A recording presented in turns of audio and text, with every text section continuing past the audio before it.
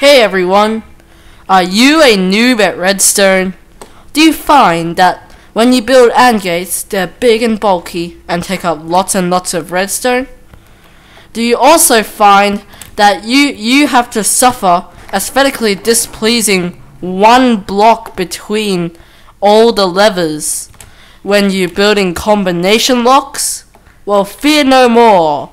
I bring you the 30 second combo lock. First, we shall have a demonstration right here. And the password is the second and fourth one. and the check button. As you can see, the door opens. Uh, no other combination is possible if I just click this one.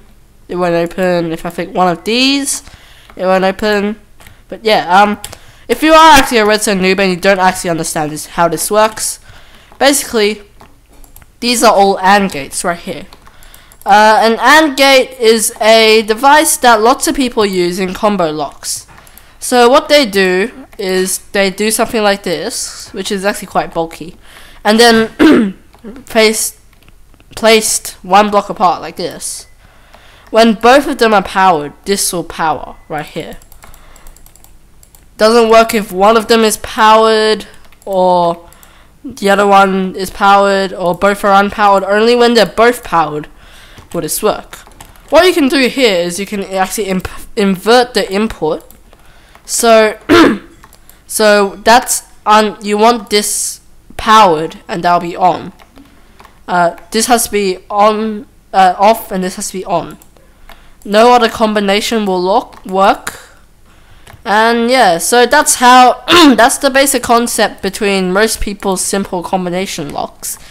And yeah, so right here, basically we have uh, four AND gates, two connecting these two, two uh, one connecting these two, one connecting these two, these two being connected together, the master AND gate connected with the button, and which leads to the door. So, uh, observe what happens when I do this. All the inputs are on, these turn off, this turns on, this turns off, on, and then as soon as I press the check button, it will power. So, yes, obviously you are very annoyed with this AND gate right here, and you want a better one. So, here is the 5 second, not really, 30 second solution. Okay, what you want to do is you want to start placing your blocks like this, and then place all your levers on top, and then make a little uh, stone thing here, which will, yeah. This isn't gonna be exactly 30 seconds, but I don't care. So, I'm gonna have the button slightly separate just to make it look kind of cool. Um, uh, torch, door. And that is about it. Uh, yes, I have got the wiring right. So basically this is also an AND gate. Uh, as soon as I insert a button, works the exactly the same as the other one. As you can see, no other combination works. Basically what I'm doing is instead of connecting all four into separate AND gates, I'm connecting them all into one big AND gate. So, uh, uh, basically what we're having here is like um when okay I'm just gonna replace this button with a lever for a second.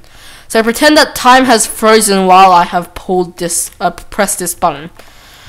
So uh, what so what happens is that if I configure any of these levers right now it will turn one of these inputs on. So if I flick this one this will turn on which will lead to keep on going.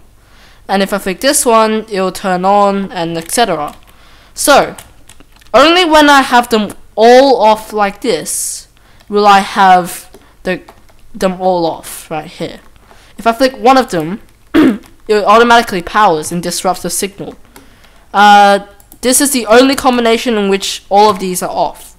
So, but however, we want to detect we want the output to be on. So basically all we're going to do is you put an inverter here. So, um, So when you flick one of these, yeah, that's a wrong one. Yeah, what am I doing? Yeah, so when you turn it, when they're all off, this will turn on. If any one of these are on, as I stated before, I'm gonna turn them all on for the sake of it. Um, then this will turn off, and yeah, so so yeah, this is a very compact, survival-friendly redstone combination lock. Uh, thing about this is you can extend it as much as you want, like quite easily. Um, yeah. By the way, when I say survival friendly, I don't mean the um, I don't mean the blocks of emerald. That's just for decoration. So you can extend this as much as you want. Da da da. And when I do this, they're gonna exclaim, "Oh, Gomango999, you fool!" if you actually do this design right here, as I'm gonna show you, then the redstone signal will run out and stuff, stuff, stuff, I don't care. So, um, basically, for example, uh, uh, as I'm gonna show you right now, if this, okay, I'm gonna set the right combination for now. So, um, if this is on, it won't actually affect this torch right here. So from about here on somewhere, it doesn't matter how much you flick, flick this, it won't affect it. So basically what you're to do is you're to make a repeater type thing. It's, it's to have to be special. And I hope I remember how to do this. So you go like this. Repeater there. Uh, no, that's not right. There we go. So you do you like make this right here. So um this will actually go to this repeater and then down here to there. Uh, the thing before, you might be wondering why I didn't just put a repeater right here. Well, what happens if you connect a repeater to itself and then power it? what happens is that it creates basically one-way RS NOR latch. Um, it's gonna stay on forever unless you break one of the redstones. So yeah, this is obviously a problem. I can't just delete this redstone because then this block, the lever on this block, won't work. So you can have a little thing going here. If you want, you can like wire something special like this. I don't know. Um, yeah, that'll work. I think. I haven't actually tested that yet, but. So, yeah, just place your levers. Um, I want this. This. Actually, this won't actually work. Never mind. Forget I ever said that. Like, erase it from your memory. I, I never said that in my whole life. I don't know what you're talking about.